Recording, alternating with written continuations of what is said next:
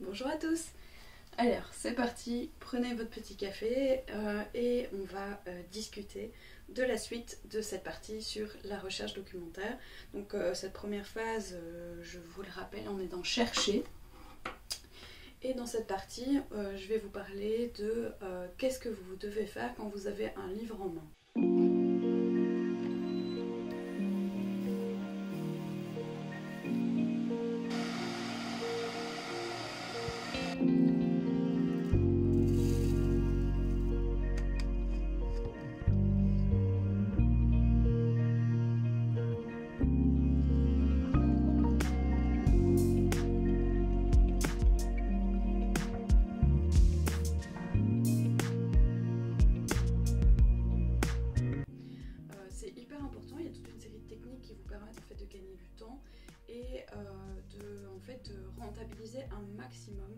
Euh, votre, euh, votre utilisation du livre parce que oui, il y a des techniques, on ne prend pas un livre juste comme ça et on se lance dedans.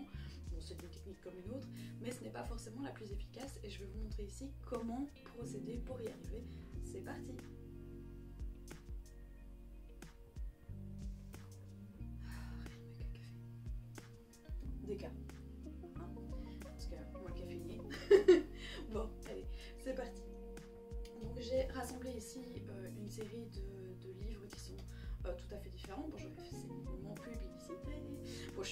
ça, c'est pas du placement de produit, je vous rassure tout de suite, mais euh, c'est des livres de mon laboratoire. Donc je suis très fière de faire partie du LAP, le laboratoire d'anthropologie prospective de l'UC Louvain. Donc c'est un laboratoire qui étudie les mondes contemporains avec comme technique l'anthropologie. Donc on a à peu près une soixantaine de chercheurs autour de ces, l'anthropologie. On a une diversité de thématiques assez impressionnante et c'est très fort représenté en fait dans les collections du. Euh, on a deux. On va commencer par celle-ci, c'est anthropologie prospective. Voilà, un petit zoom sur le livre. La rigueur du qualitatif. Alors la rigueur du qualitatif en anthropologie, c'est un point incontournable. C'est Olivier de Sardon l'a fait. Alors, je tiens à le signaler pour les étudiants, c'est Jean-Pierre son prénom et Olivier de Sardan le nom. Souvent on voit deux Sardan, mais en fait non, c'est Olivier de Sardan le nom de famille, donc euh, ne vous faites pas avoir. Et euh, ce livre est une vraie bible en matière de terrain, de méthodologie, et donc vraiment je vous conseille l'avoir dans sa bibliothèque, c'est un must parce que comme ça, ou avoir une photocopie. Hein. voilà, je vous encourage, soutenez notre labo à acheter le livre voilà, c'est la rigueur du qualitatif. Alors en premier, quand on a un livre en main, euh, tout chercheur va effectivement regarder le titre, l'auteur, éventuellement la collection, mais surtout il va retourner directement. Alors on a une série, toute une série d'informations très intéressantes sur la quatrième de couverture. Euh, ici par exemple, et, je trouve ça vraiment très chouette, mais toutes les collections ne le font pas, on a euh, un bref récapitulatif de la collection. Ça c'est quelque chose quand vous avez un livre en main, d'essentiel, regardez dans quoi il se situe. Généralement, une collection a, euh, on pourrait dire, une ligne directrice. Donc, euh, être dans la collection euh, anthropologie prospective, c'est ben, voilà, c'est un style, comme il le dit, synthétique et enlevé, euh, qui euh, montre une connaissance et une expérience approfondie du terrain. Donc euh, voilà, c'est explorer les voies d'une science engagée dans les évolutions et enjeux sociétaux du 21e siècle. On y retrouve là aussi les valeurs du laboratoire. Donc on a vraiment cette, la, la signalisation de l'optique que prend la collection. Donc euh, sachez qu'il y a certaines collections qui orientent ça vers du sensible, euh, vers des expériences de terrain, vers... Euh, voilà. Et, donc une collection, c'est un état d'esprit dans lequel on demande à l'auteur de se situer afin de produire son livre. Donc ça va orienter le travail. Soyez conscients de ça, c'est une des premières choses qu'on fait. Une des deuxièmes choses qu'on fait, et ici on nous permet, on a la biographie de l'auteur. Ici, bah, Olivier de Sardan, on nous résume son pourrait dire son parcours, on a les premières orientations. Sachez que dans des exercices théoriques, et je pense notamment à mes étudiants en jury, faut toujours situer l'auteur, c'est euh, le replacer de un dans son contexte. Donc euh, critiquer les strauss bah voilà, c'est facile à l'heure actuelle, mais il faut le replacer dans le contexte dans lequel il était à l'époque. Euh, et ça va là pour toute une série d'autres personnes, je pense à Mary Douglas, etc. Bon, leurs travaux sont fondamentaux, et il faut les reconnaître comme tels, il faut les replacer dans leur contexte, et pouvoir après les utiliser, les critiquer au regard des avancées de notre époque. Mais c'est toujours comme ça qu'on fonctionne. On ne critique pas un livre sans euh, le replacer dans son contexte, sans voir où est l'auteur, d'où il parle, qui il est, quelles sont les expériences qui l'ont fondé, euh, en tout cas celles qu'il a mises en avant tout au cours de l'édification de sa biographie et de sa bibliographie aussi, parce que dans ses écrits on retrouve beaucoup de choses. Je pense notamment aux argonautes, etc. Quand vous allez lire, euh, ou Trisotropique, quand vous allez les lire, vous allez effectivement trouver des bribes de l'auteur, et ce sont des livres d'ailleurs passionnants pour ça, Trisotropique, retourné complètement on y trouve des bribes de l'auteur, donc c'est important de savoir euh, qui est l'auteur. Euh, ça peut aussi vous permettre de savoir dans quelle université il a travaillé. Je pense notamment, ben voilà, il y a des écoles l'anthropologie, il y a des courants, mais aussi des écoles. Je pense notamment à l'école de Chicago, etc. Ben, le fait de savoir que la personne a travaillé avec un tel dans telle université vous permet de resituer la personne aussi dans les courants et dans les influences dans lesquelles il a été. Et ça, c'est crucial dans un exercice théorique. Je pense à mes étudiants euh, c'est valable aussi dans votre mémoire parce que voilà, parfois comparer deux personnes de courants très différents, ça nécessite de bien connaître ces courants et de savoir en fait euh, ce qu'on oppose. Donc c'est vraiment crucial de replacer l'auteur dans son contexte et dans ses courants. Ensuite, on a le résumé. Et le résumé vous permet euh, de savoir si globalement vous êtes bien mis. À savoir que la plupart des résumés sont assez trompeurs. Et donc je vous conseille quand même de jeter un petit coup d'œil quand même, même si les résumés, sauf si les résumés vraiment à côté de la plaque et que vous vous dites, ah bah en fait, euh, par exemple, ça m'est déjà arrivé euh, de chercher sur accessibilité et de tomber sur accessibilité pour des personnes handicapées et pas l'accessibilité en termes de monde virtuel. Fait que là, bah, bien évidemment, j'ai pas consulté. Mais par contre, si le résumé est dans le bon thème et ne vous convainc pas tout à fait, euh, sachez aussi que c'est des manières de résumer qui ne sont pas toujours représentatives de ce qu'il y a dans le livre et que tout n'est pas acheté. Donc, je vous conseille d'avoir le réflexe suivant. Alors là, ça diffère. Les chercheurs euh, peuvent consulter, soit consulter directement l'introduction, soit consulter la table des matières. Bon, moi, je vais consulter la table des matières. En consultant la table des matières, ce genre de choses, c'est généralement en fin ou en début d'ouvrage.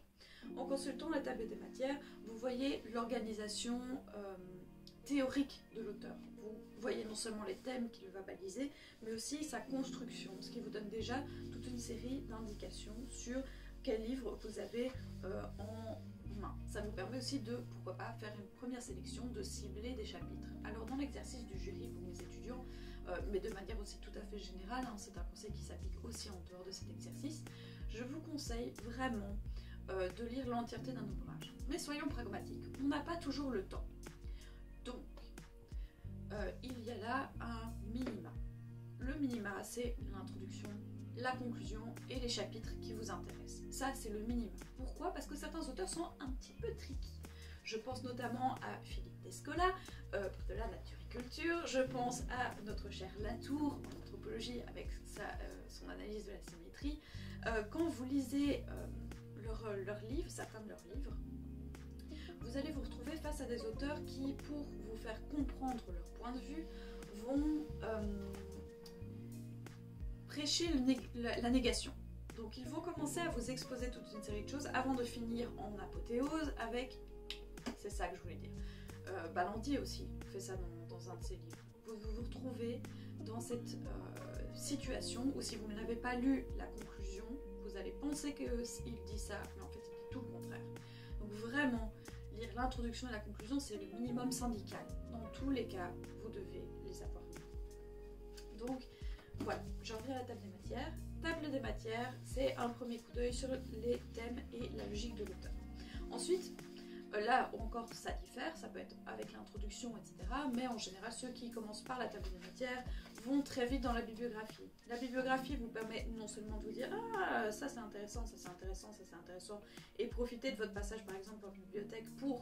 Euh, simplement chercher le livre, parce que parfois il y a des titres qui sont tellement évidents que, que vous allez les chercher, donc je vous conseille vraiment de faire ça de regarder la bibliographie, mais aussi ça vous permet, là encore, d'avoir des indices sur dans quel courant se situe l'auteur, qui l'utilise et quelles sont éventuellement les pistes bibliographiques intéressantes et la qualité de l'ouvrage. Sachez qu'une bibliographie comme ici, qui fait euh, des dizaines et des dizaines de pages, hein, je pense qu'ici on est, euh, voilà, on est à page 331 à 350, euh, 360. Vous imaginez ça, sur un bouquin bibliographie, c'est un gage de qualité scientifique. Alors ça ne veut pas dire que si vous en avez peu, c'est un mauvais ouvrage, mais soyez attentif à quel type de publication vous avez dedans. Euh, c'est un indicatif sur la qualité scientifique de l'ouvrage. la collection est déjà, en général, quand c'est une collection avec comité de lecture, euh, vous savez d'office que euh, bah, c'est probablement un très bon ouvrage. Mais il faut toujours avoir plusieurs indices et vraiment garder. Donc la bibliographie, ça, les chercheurs usent et abusent avant parfois même d'avoir ouvert le livre. Petite pause café.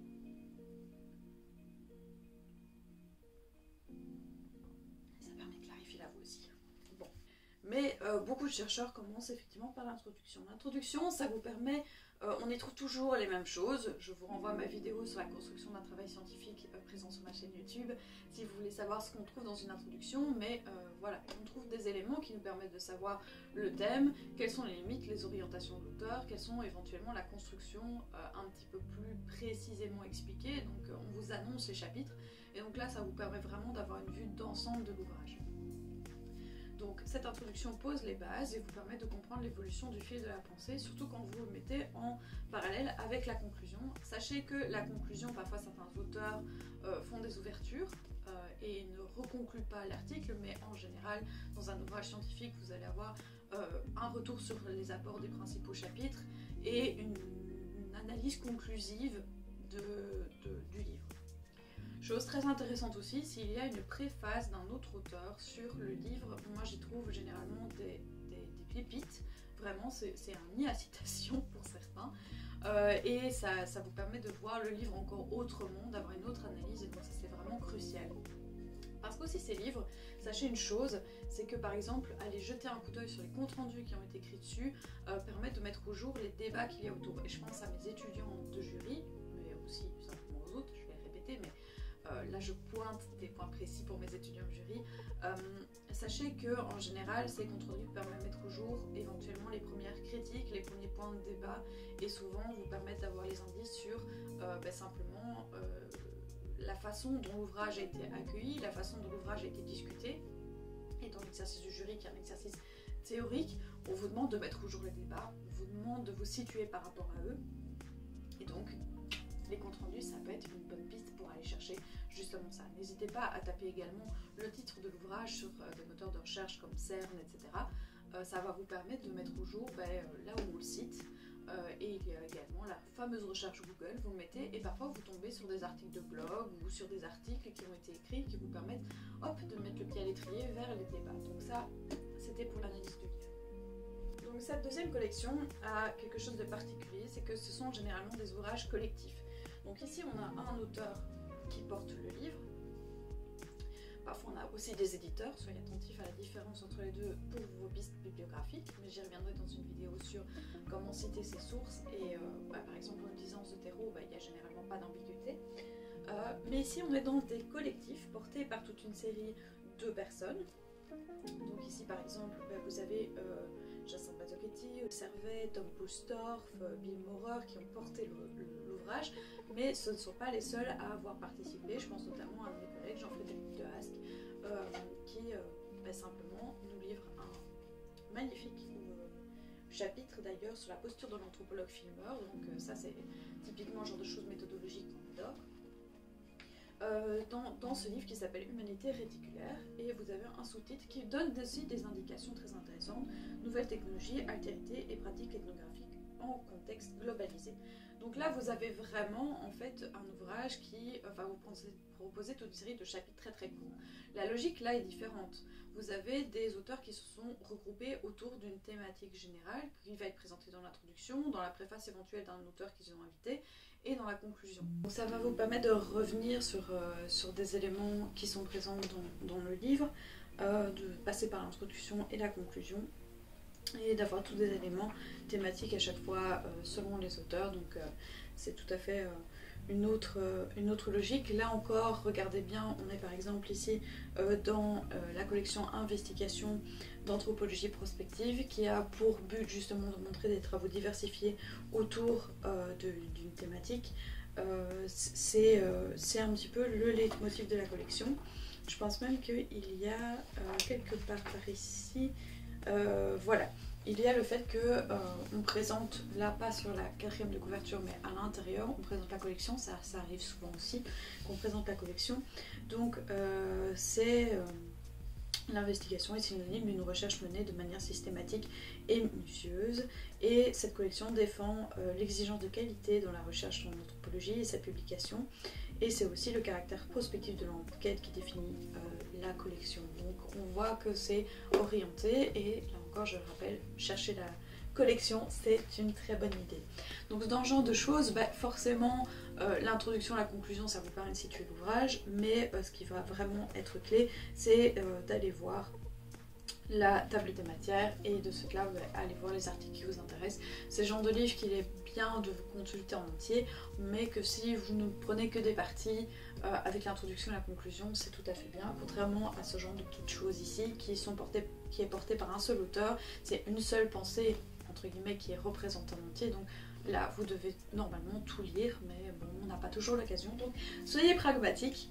On fait au mieux, comme on peut, et euh, quand on est pris par le temps, bah, il n'y a pas vraiment le choix. Je vous conseille par contre, quand vous débutez votre recherche, euh, attaquer ce genre de monographie. C'est par exemple si vous en trouvez une qui est euh, on pourrait dire qui brosse une thématique largement.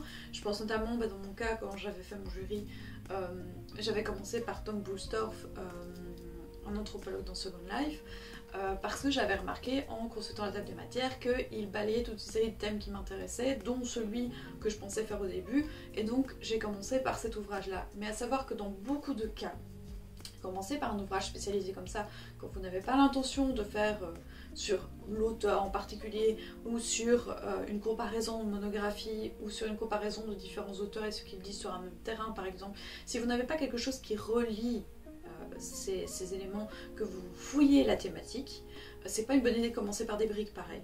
Je vous conseille vraiment d'aller chercher dans les articles de revue ou dans des ouvrages comme ça collectifs où il y a plein plein plein de, points abordés. Comme ça, vous brosser rapidement le thème et vous vous retrouvez pas coincé à lire une brique comme ça qui ça tombe en fait ne euh, vous servira pas. Donc soyez là encore, euh, une recherche documentaire c'est toujours quelque chose qui nécessite une certaine stratégie et ça c'est vraiment clé de mettre au point sa stratégie euh, et ça va aussi quand vous faites vos lectures.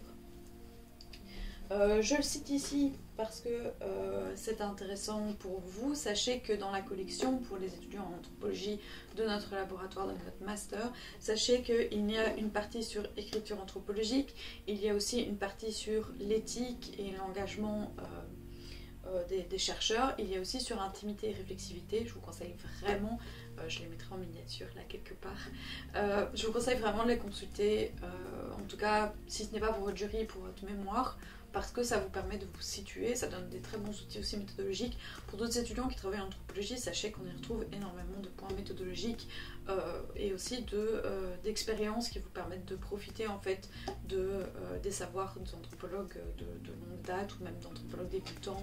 Voilà, ça vous permet vraiment, anthropologue débutant, on s'entend bien, c'est doctorant à minima. donc voilà, n'hésitez vraiment pas à aller voir, c'est quelque chose de intéressant. Je cite ici parce que vous pouvez vous retrouver face à des petits livres comme ça. La taille ne veut rien dire. Donc ici on a le livre d'Olivier Servet, euh, Jeux vidéo, Nouvel opium du peuple. Alors là, quand on regarde de prime abord, ben, on peut se dire, bah tiens, euh, ça, a l'air d'un petit livre comme ça, facile à lire, euh, le genre de livre qu'on trouve dans n'importe quelle librairie. et c'est intéressant si je vous montre pourquoi, c'est parce que en fait ce genre, la taille et le fait de ne pas avoir une grosse bibliographie enfin ne veut rien dire parce que vous voyez que euh, quand vous regardez, vous avez des notes. Ça, ça arrive souvent dans les livres, euh, style poche, etc. Euh, il y à savoir qu'il y a des ouvrages de qualité scientifique qui sont présents dans ce genre de collection. vous avez donc des notes et quand vous les regardez, vous voyez que c'est extrêmement intéressant parce qu'il y a plein, plein, plein de références bibliographiques qui sont dedans et des, éléments. Vous voyez aussi que dans dans le texte, il y a également euh, des, notes qui vous permettent de vous, de vous rendre... Euh, comment dire euh, Il y a également des, Chaque fois, tout est bien référencé et tout est bien mis, donc ça vous permet de, vous dire, ah ben tiens, là on a un ouvrage qui est scientifique et permet en fait de d'entrer dans une thématique, à savoir que effectivement ce ceci n'est pas une monographie, donc le but ici est de livrer un message voilà une question ici, hein, le est-ce un nouvel opium. Et donc on a là quelque chose qui est euh, de, qualité scientifique, mais avec une ouverture plus large, qui peut être lue par plus de personnes, d'où effectivement le fait qu'on n'a pas directement dans le texte des énormes notes de bas de page et qu'on a les notes en fin, c'est-à-dire que les notes en fin garantissent l'appareillage scientifique, mais n'alourdissent pas le texte directement dedans. Donc ça montre déjà, ça vous donne un petit indice sur la manière de procéder et sur la, pourrait dire le niveau choisi pour la publication.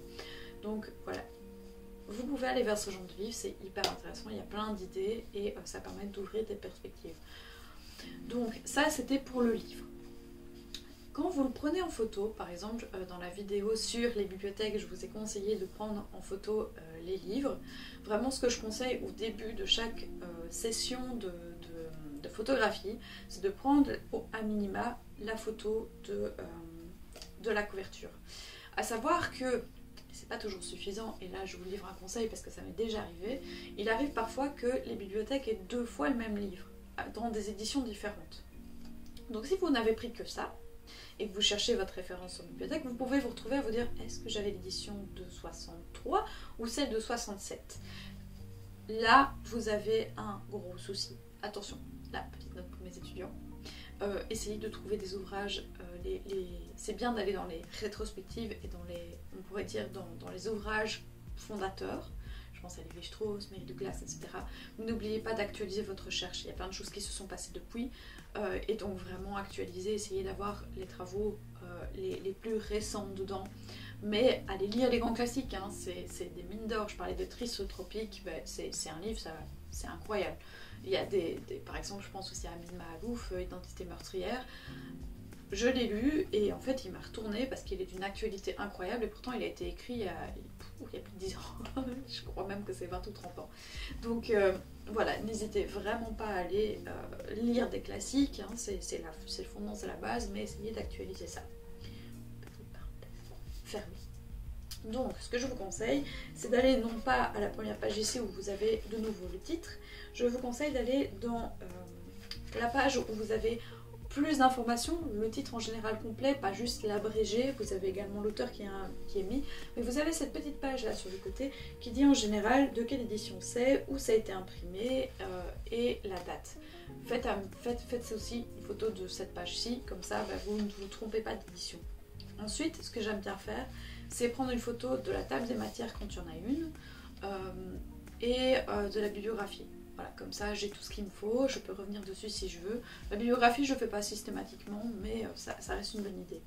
Ensuite, une fois que vous avez ça, vous pouvez aller faire des photos des pages qui vous intéressent dans le livre. Et donc pour le matériel à prendre pour ce genre de choses, par exemple les post-it, pour pouvoir mettre quelle page vous intéresse, je vous conseille de retourner voir la vidéo sur les bibliothèques. Vous verrez que c'est toute une organisation. Mais voilà comment je procède. À savoir qu'il existe euh, des logiciels vraiment très très efficaces pour faire de la reconnaissance de caractère. Euh, je ne vous le conseille pas quand vous êtes en bibliothèque parce que votre but est de faire maximum de photos si vous avez un temps réduit. En tout cas, c'est comme ça que je le présente. Si vous avez le temps, n'hésitez pas. Euh, le logiciel s'appelle Office Lens. C'est quelque chose que vous pouvez mettre sur votre ordinateur et ça vous permet de... il prend une photo de la page et il la transforme en Word c'est cadeau. Donc voilà, c'est un outil que je conseille à tous mes collègues, que je conseille à tous mes étudiants. Et chaque fois que je leur propose, c'est la révolution. Donc vraiment, n'hésitez pas à utiliser ce, logiciel. Euh, mais je ferai une vidéo dessus parce qu'il y a des petits trucs là aussi à connaître dessus, parce que l'accumulation, ça nous guette tous. Pareil quand vous faites des photos, sachez qu'il faut les traiter rapidement, les mettre dans des dossiers, ne pas les perdre. Si vous les accumulez et que vous ne les traitez pas, que vous ne les rangez pas, que vous ne le signifiez pas dans votre petit carnet, ici, dont je vais parler, euh, je fais une vidéo à part entière, euh, c'est-à-dire c'est votre compagnon de route tout au long de vos recherches documentaires et en bibliothèque. Si vous ne notez pas que vous avez fait des, photos, si vous ne notez pas, si vous ne tenez pas trace de ça, ça peut s'accumuler très très vite. Et donc là, il faut être organisé, il faut euh, traiter ça au plus vite pour ne pas laisser traîner. voilà, pour ce qui est euh, de que fait-on quand on a un livre en main, euh, J'espère que cette vidéo vous aura plu, n'hésitez pas à mettre un petit like, n'hésitez pas aussi à partager cette vidéo si vous pensez que ça peut intéresser plus largement, et à vous abonner aussi à ma chaîne. Comme ça, vous aurez la suite des contenus euh, dès que je les poste. Et ça me permettra de aussi soutenir cette, cette initiative qui a pour but de partager plus largement qu'à simplement mes étudiants ben, les savoirs méthodologiques et, que, que, je leur donne au, quotidien et les trucs et astuces d'une recherche parce que je pense que voilà, ça reste intéressant. Et donc voilà, n'hésitez pas à me soutenir en utilisant le like, l'abonnement et le partage, ça me fera très très plaisir. Je vous retrouve très vite dans une prochaine vidéo. Bye bye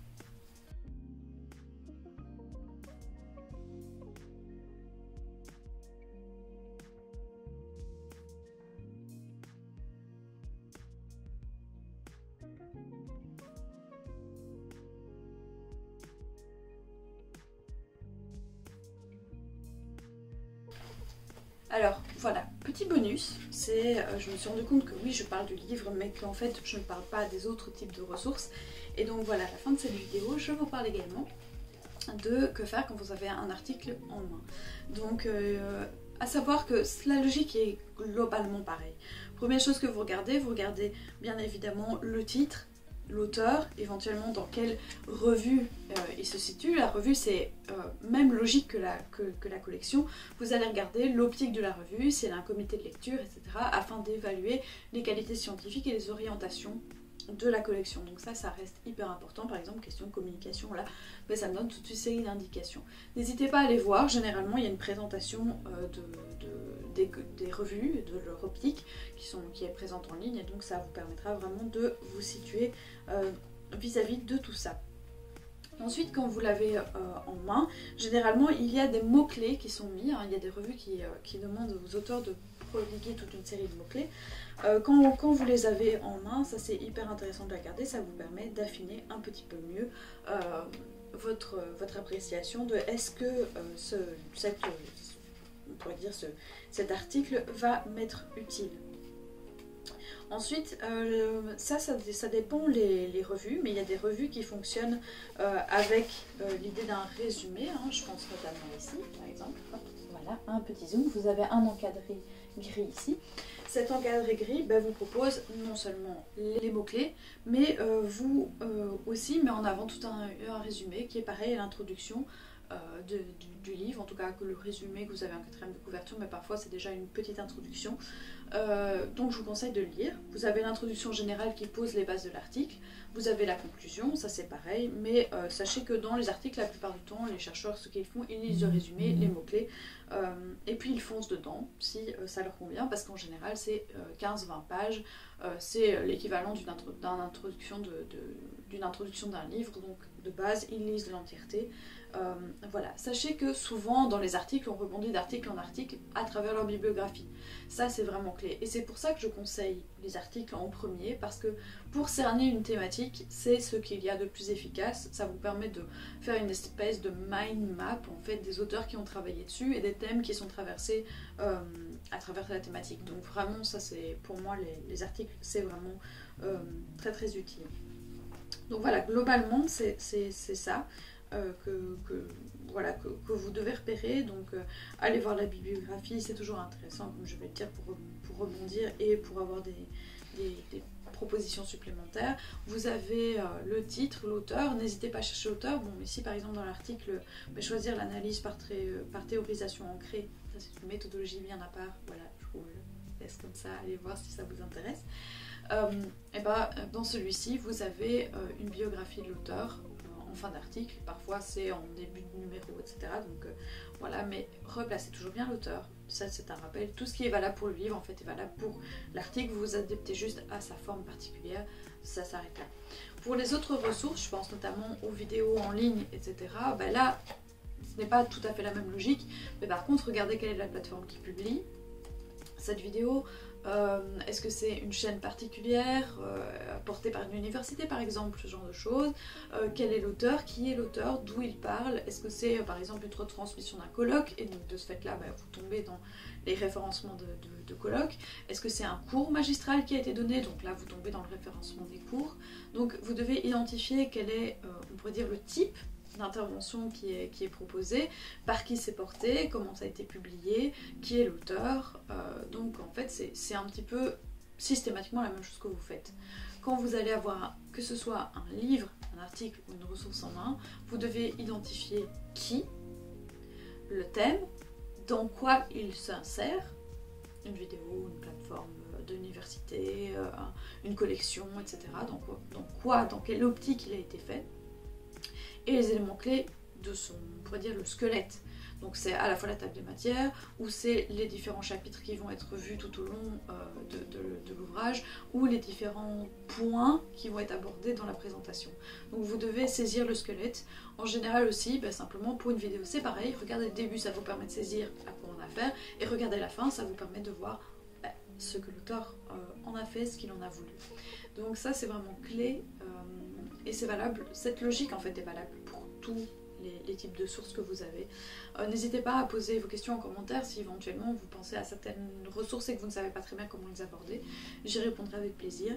Et euh, c'était voilà pour le petit bonus sur les articles scientifiques.